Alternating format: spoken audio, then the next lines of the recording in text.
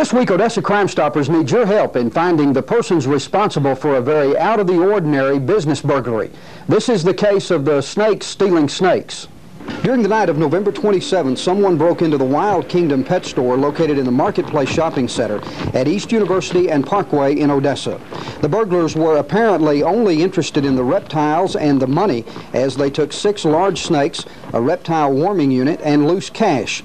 The total value of the snakes was about $2,000 and included an albino Burmese python, a red-tailed boa constrictor, an anaconda, and three other pythons. We're looking for someone who was obviously very selective in what they took and knew what they were looking for. This may be someone with a knowledge of snakes. If you know someone who might have suddenly come into possession of several large snakes or someone trying to sell snakes, it might be the person we're looking for. When the snakes in our society start stealing snakes, you have to wonder what the world's coming to.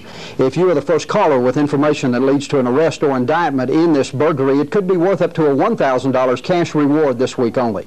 Call Odessa Crime Stoppers at 333-TIPS and you will remain anonymous. I'm Lieutenant Carl Rogers for Odessa Crime Stoppers.